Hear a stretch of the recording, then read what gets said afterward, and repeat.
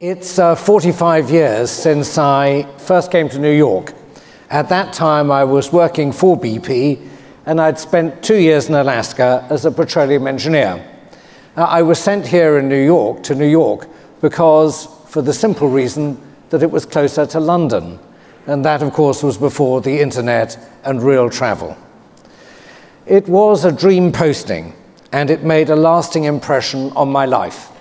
It was in New York in the early 70s that I first became, I came to understand what it meant for business to be socially responsible.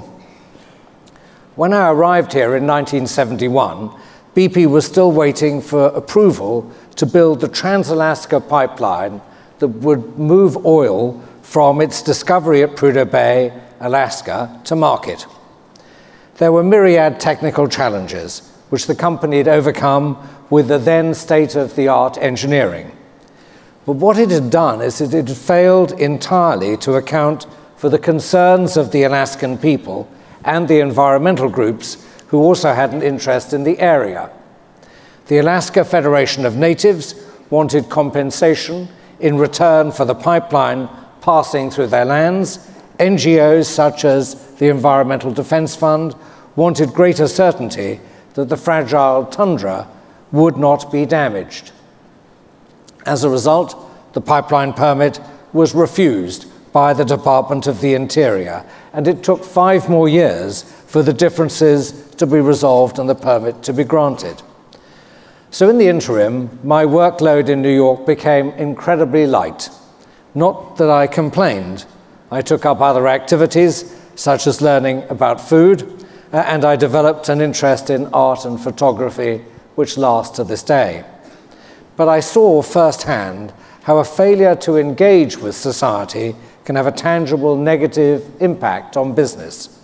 The delay in construction changed the economics of the project dramatically originally forecast to cost $900 million. Uh, the pipeline ended up costing $8 billion, or in today's money, $32 billion. In New York during the 70s, I was just a, a junior observer. It was only after studying at the Stanford Graduate School of Business under the great George Leland Bach in the 1980s that I was really able to see how important it was to, to look at business problems in a very wide context. I began to understand the need for multiple stakeholders, from companies to communities, governments and campaigners, to work together. I began to make sense of some of my time in Alaska and in New York. And that experience permanently altered the way I thought about and wanted to do business. That came to a head again in Stanford in 1997, many years later.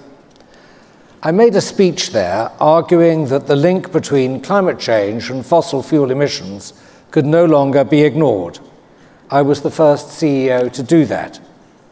I challenged BP and the wider oil and gas industry to be part of a solution Specifically, I committed my company to do five things to reduce greenhouse gases, to fund research and development, to work with developing countries to reduce their carbon emissions, to develop alternative fuels, and most importantly, to contribute to the public policy debate on climate change.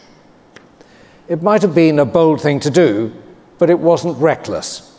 The commitments were decided after a lot of consultation with our own scientific uh, advisors and external experts. And we worked hard to win the support of those both inside the company and outside. At the time, I don't think I saw it as being bold. It was only after years of reflection that I came to think of it as such. In the moment, such decisions come down to one thing clarity of purpose you may well end up burning a bridge behind you, as we did temporarily with other members of the oil and gas industry. We were accused by the lobby group who represents the oil industry of having left the church, whatever that meant. Their chief executives came to see me to check whether I was okay and whether I was actually still thinking in the right way. Uh, but almost 20 years later, uh, and this has been announced, I think, today, all major oil companies acknowledge the danger posed by climate change, and they have announced that a group of seven European and Middle Eastern oil and gas companies, including BP, were joined to forces to fund the development of new renewable energies technologies. Progress on this is great. It might seem as if it's glacial, but uh, the initiative announced today has the potential to help reconnect the oil and gas industry with the rest of society. It's got to be followed through, uh, and we need to watch very carefully that these companies actually do what they've committed to do. History is littered with examples of companies that have lost sight of their core purpose. Researching my latest book, called Connect, we found corporate scandals spanning the last 2,000 years that, in my view, can be attributed to companies failing to act in the interests of society. And what's worse is these scandals are cyclical. Once the public outcry has subs subsided, businesses forget or ignore the lessons learned. For example, Wells Fargo. It's not yet 10 years since the financial crisis was triggered, in part by unserviceable mortgages being issued by frontline staff to meet targets. And yet last month, that bank was found to have incentivized its employees to open accounts that customers didn't know about. $2 million in fees charged on the fake accounts may appear relatively small, but it is indicative of yet another company that had lost touch with reality. The fact that business keeps repeating mistakes should be a source of embarrassment and stimulus enough to cause reform. Leaders seem to recognize this, but are struggling to change the nature of their relationship with society. So we did a very big survey of 2,000 CEOs, and I found that they, they said that they spend a third of their time cultivating their relationship with society. But yet, fewer than 30% of them thought they did that successfully. They're right to spend so much time on this because the value they have at risk is huge. On average, a company's relationship with society is worth about 30% of corporate earnings, and that's on average. In the most catastrophic cases, from the East India Company of the past to Enron of the recent past, the value of an entire company can be destroyed. There's also a significant upside in getting stakeholder engagement right. All the research indicates that the most inclusive companies make the most amount of money. In fact, one study found that such companies outperformed their competitors by an average of 2% every year for a decade. So the value at risk and returns available are now generally accepted. But a new approach is needed to leading uh, the relationship with society. And I believe this calls for bold and radical engagement, and three things should be thought about. First, leaders must constantly monitor the world around them, looking out for any changes in the context in which they operate, including how their staff and their teams are changing. And this means understanding the risk posed not only by external stakeholders, but also understanding the risks their business might pose to society itself. For BP in 1997, this meant surveying the developments of research and the changing attitudes towards climate change of customers and using that information to inform decision making. Second, they need to integrate their relationship with society into their core activity. Now, too often, it's considered as something separate. Leaders need to ensure that all decisions are made, all decisions are made, with society in mind by those at the heart of the business, not simply at the fringe of the business doing good works. Radically thinking about how a business can engage with society can create value in very unexpected ways. At BP, for example, we hit our emissions targets, which we set in 97, uh, nine years ahead of schedule, generating hundreds of millions of dollars of value in the process. And finally, and I think most importantly, leaders need to be inclusive, inclusive in all their dealings with society. And it needs to be a deep inclusion. This means addressing society's concerns not according to a corporate agenda, but on the terms of the affected stakeholders. After the speech at Stanford, I got the company to lean in to the problem. We invited leading environmental NGOs to help us think about how we could deliver on our commitments. And they'd fought us on lots of projects, such as the Trans Alaska Pipeline, but they could see that we were sincere in what we were trying to do and accepted the invitation. Inclusion sounds very simple, but in fact it goes against an inherent corporate preference for tight control over decision making. But companies will never make peace with society as long as they treat stakeholders with the suspicion traditionally reserved for enemies. There is a sincere but frustrated desire to connect successfully with society. Leaders recognize the value, but they can't quite seem to get it right. To overcome this, leaders need to turn their recognition of the challenges into strategies for engagement that go to the heart of the company's commercial purpose. They need to think not only about uh, themselves, they need new strategies for engagement not just at the company level, but also for themselves. So, for example, I took a bold decision about climate change. What I did, however, was fail to take another decision about myself. I failed to come out as gay. I came out only when I was outed. And for today, the leaders of today need to recognize that there is no difference between their personal life and the way in which they lead a company. It's essential to be yourself and to be authentic in everything that you do. And who knows, if I'd been bolder and come out as gay maybe five years before I did, all sorts of other things might have happened. But I am confident that if leaders recognize this, business itself will, become, will continue to be an enormous economic force for the future. Ladies and gentlemen, that's the end of my prepared remarks.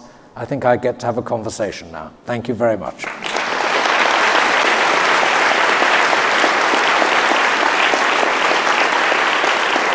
Where you sit?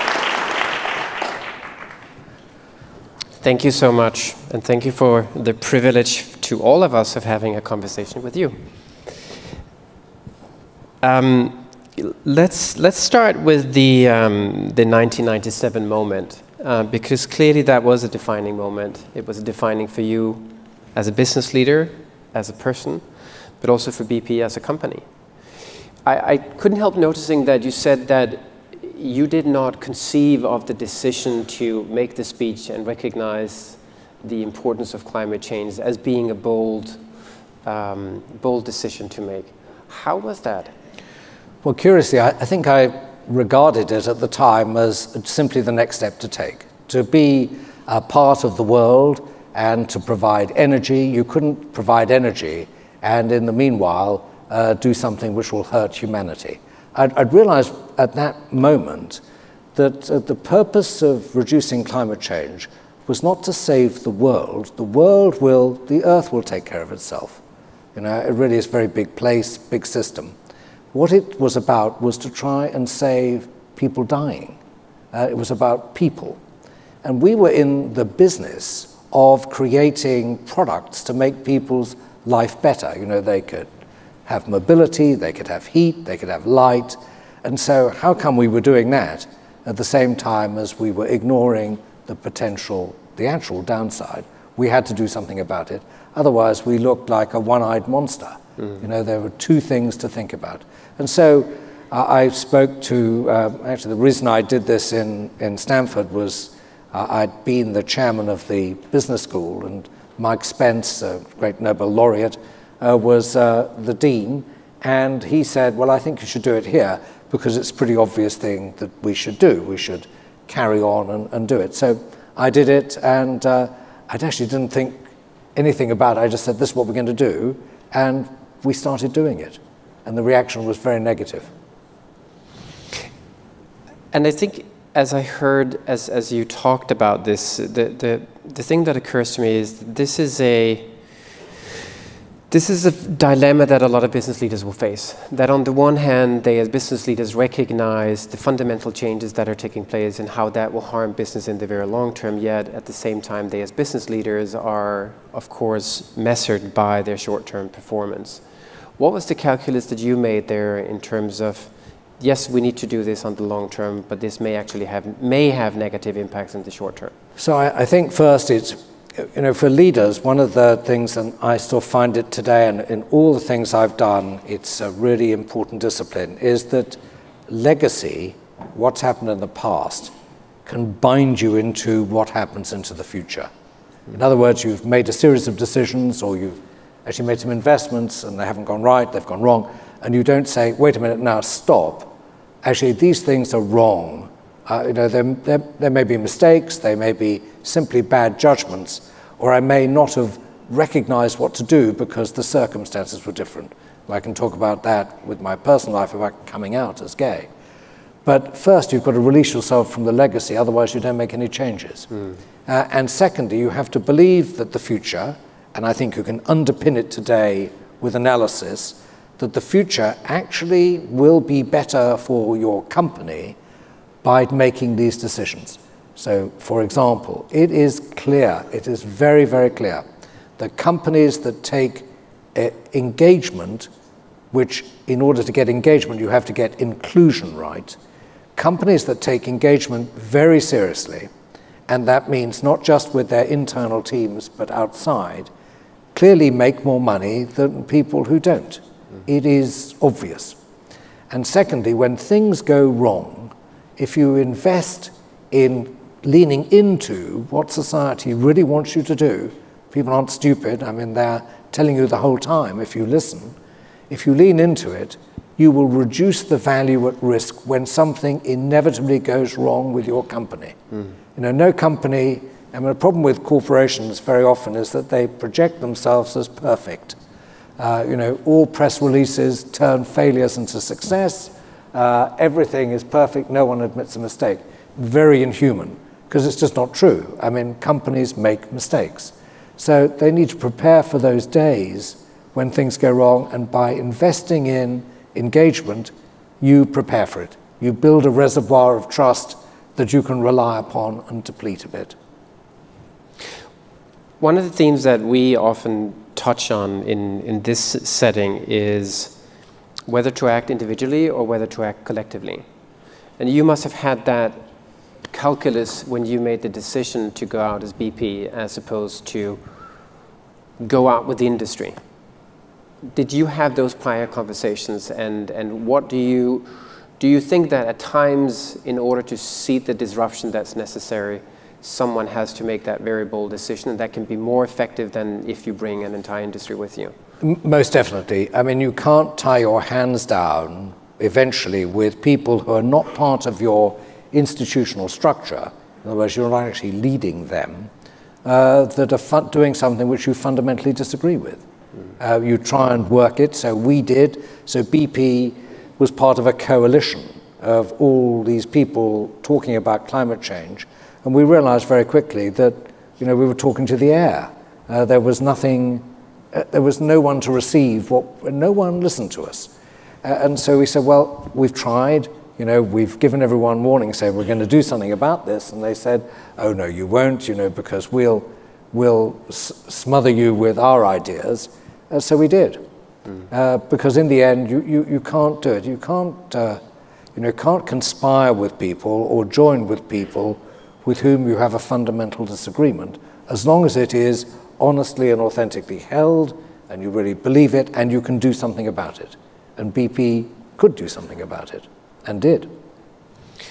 I just want to say that we will soon take questions, um, so please send those via, you can send those via Twitters, and we'll of course also open up for questions from the floor, so hashtag BSR16. Um, another theme is, is, is this about, so you clearly set the tone from the top, but you also had a very large organization behind you that where not everyone thought the same way as you did, and you had a lot of skeptics, and you, you talked about that. How, how does one prepare an organization for making very bold moves? How do you do that? So I think uh, you know it is it is if if you really get everyone behind you, then you probably haven't listened, mm.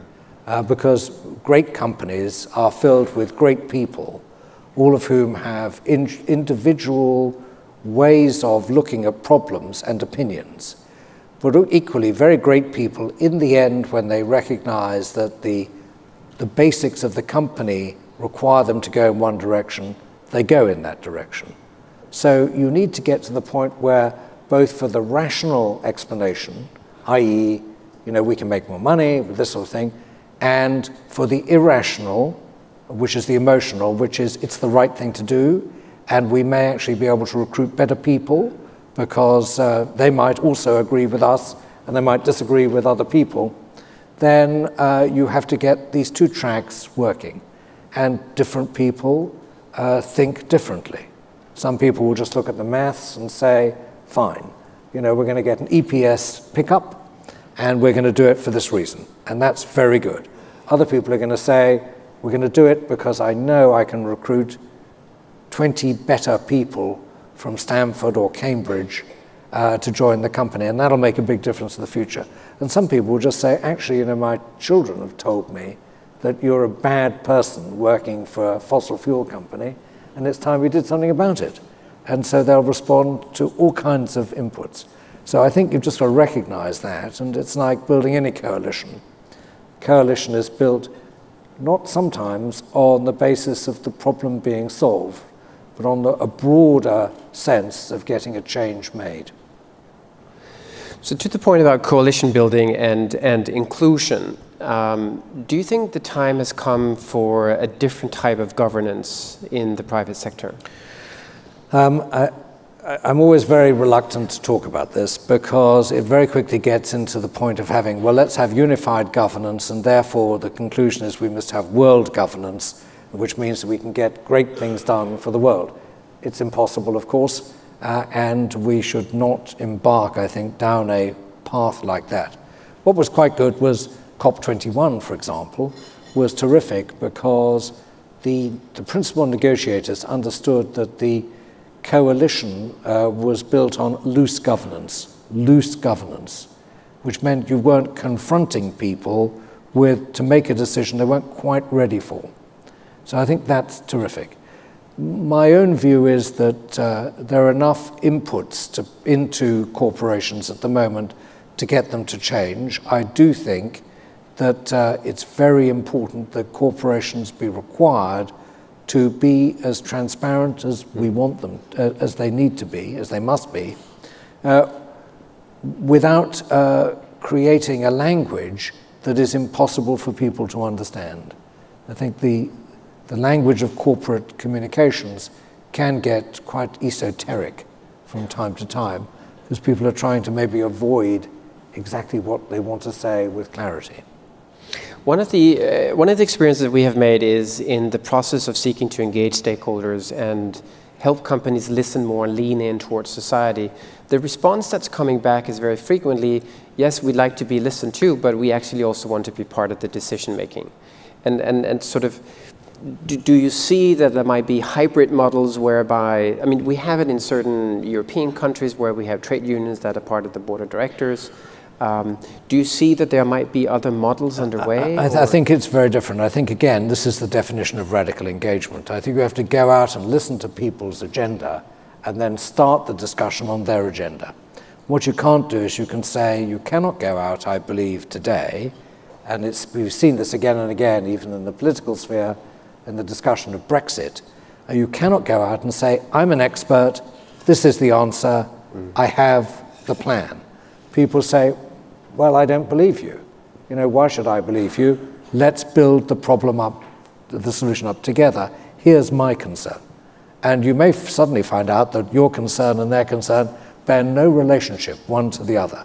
And you've got to, I think, do that.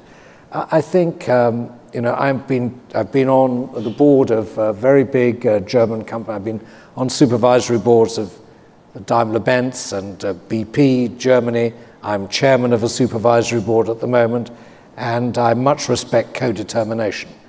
But co determination Labour representatives on the supervisory board also has negative impacts. It means that much of the decision making is delegated, perhaps too much, to the Vorstand, to the management board below, because many things cannot be discussed at the supervisory board. And I think that, that so there's always a, a trade off in governance uh, that you've got to think through. Uh, I think it's having great directors. In the end, you know, all governance systems don't substitute for weak directors. I think directors of companies should be tested and they should be looked at and said, are they actually doing a good job? And if not, they should be asked to go. And the same is true with CEOs and, and the C suite but they, they have to be people who recognize uh, that, that being a company, doing business, is, is a great privilege. Uh, it's given to you by society. You know, there are lots of rules being put in place, but in the end, you're allowed to do it as long as you abide by the rules and you actually think about the implicate, not, not to the letter, it's beyond that. You actually think about what you're doing to society. Go back, and think about the purpose, because in the end, uh, business has to be the servant of society, and it is providing uh, the motor power for advancement everywhere, re- real advancement. The moment I think people begin to think that business is not doing that, uh, then I think we have a problem.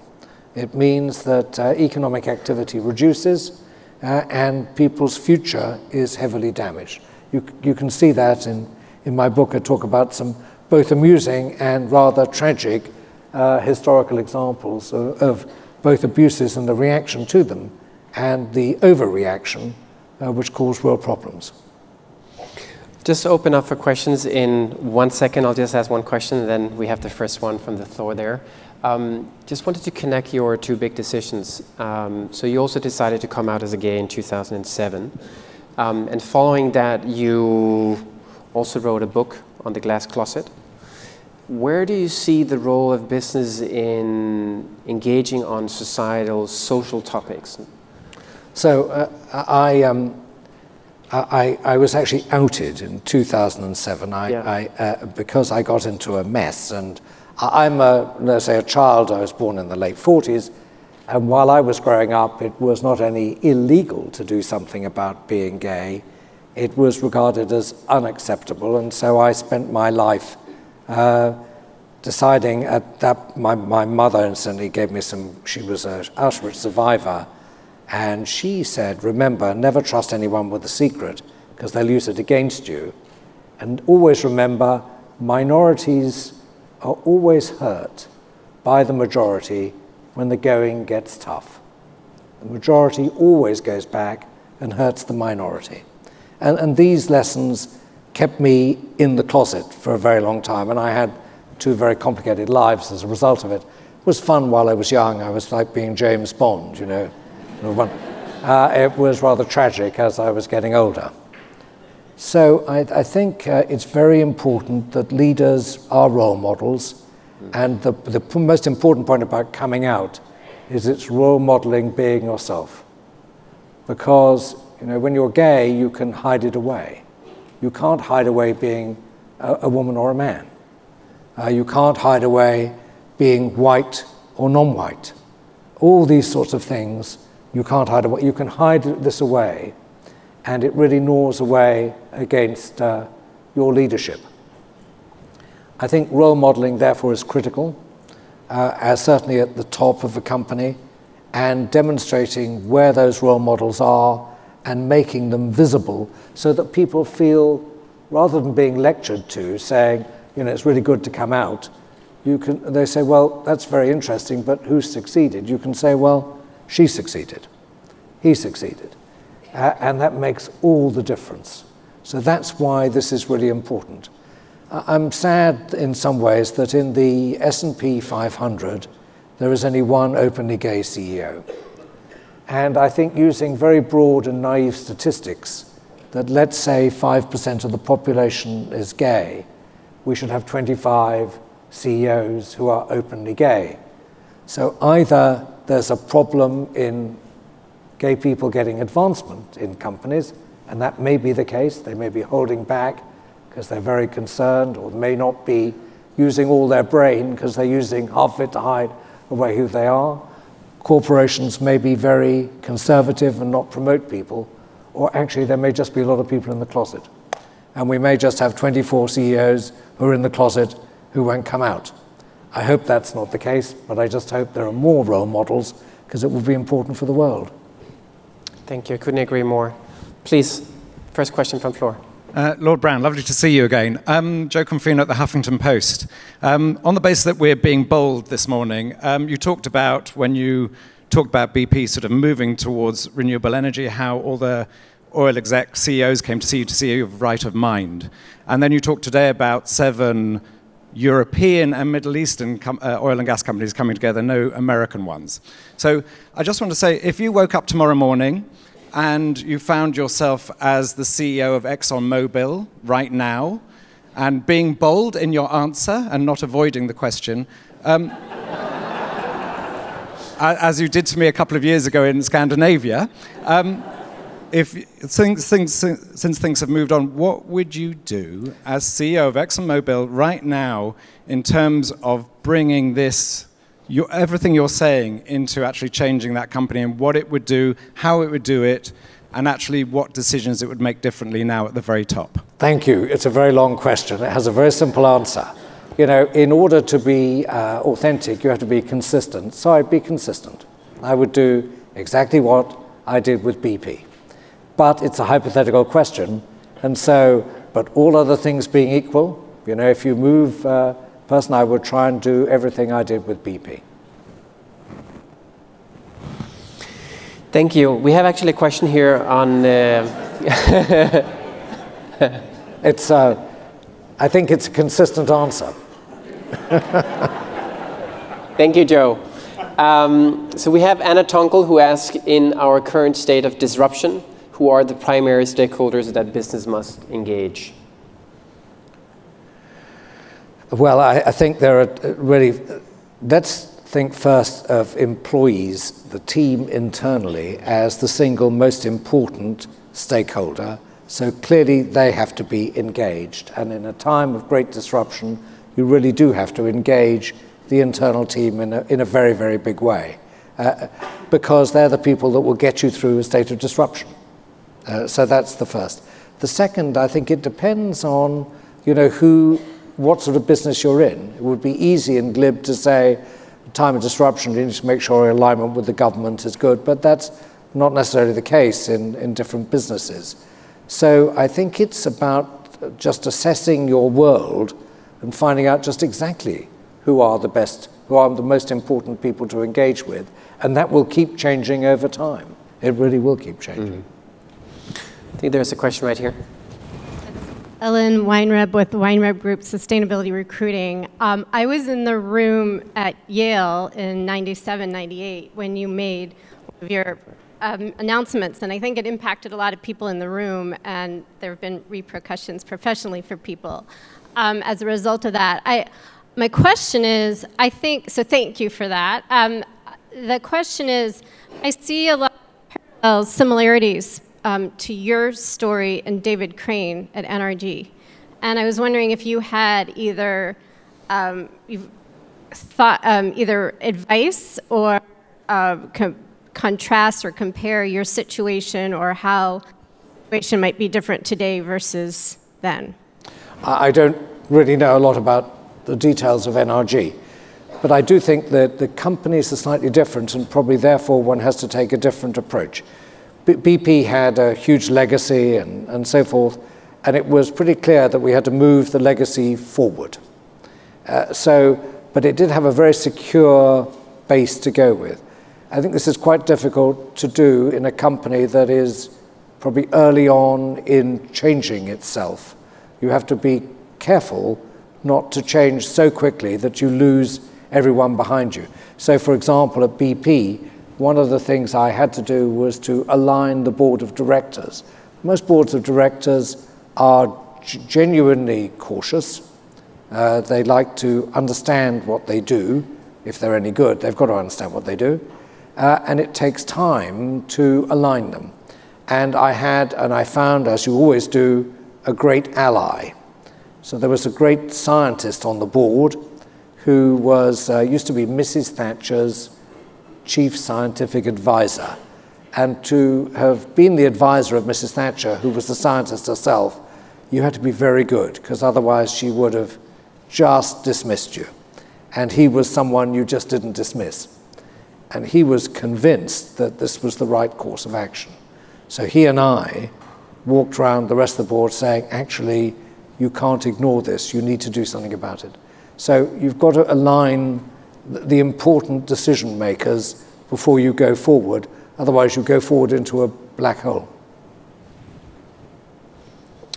I'll just take one more question.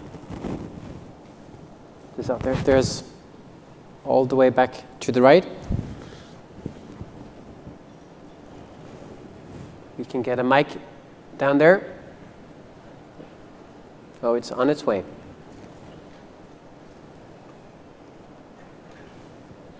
Uh, good morning, and um, hi, good morning. My name's Anya. I'm from GreenBiz, and thank you very much for your keynote. It was really uh, wonderful and also personally impactful. Um, my question is about your comment on how businesses and business leaders need to listen to all aspects of society in order to make decisions. Um, in order to do that, especially in today's media climate, there's always something new. There's so many things to pay attention to, all of which are very important um, and can cause social repercussions for businesses.